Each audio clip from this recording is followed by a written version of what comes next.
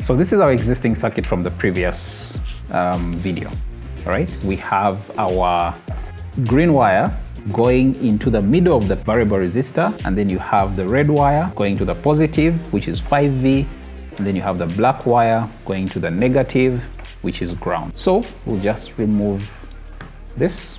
So the only thing that has changed is that we have removed our variable resistor and we're going to replace it with our voltage divider circuit.